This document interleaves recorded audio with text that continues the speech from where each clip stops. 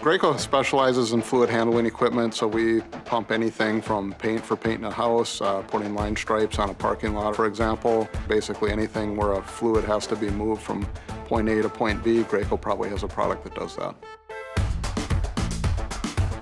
3D printers have multiple value for us. Number one, it's great in the iteration phase of the project. When we get a little farther into the project, it's an invaluable tool because we use them for field testing and product testing. So having a wide variety of material options available that are all easy to use, quick turnaround parts, meets a lot of these different needs and goals that we have. For functional prototypes, we like to see the strongest material that we can get and nylon CF10 is going to be the ticket to getting it into our customers' hands and have the strongest part that they can get.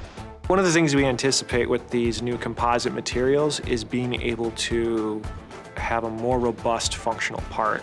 I'm looking forward to being able to print out something that's strong enough where we can test it out and make sure that it works in the field.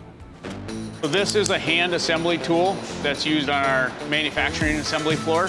We currently make these in ABS. Over time, these parts in ABS will wear out, where this really doesn't engage. This new material is going to make it much stronger and it's gonna last over 10 to 20 times longer so that we don't have to keep replacing parts. The Stratasys 370CR allows us to get field test units in our customers' hands sooner, and then we can get that feedback and iterate, and we're really excited to have in the printer to give us the capability to do that. This was a significant upgrade to the previous generation handheld airless paint sprayer. The 3D printed clamshell that we have in this particular prototype is a highly functional component. It's holding gears, it's holding the pump, and has to have the rigidity and the durability, robustness that the functionality of the part can work.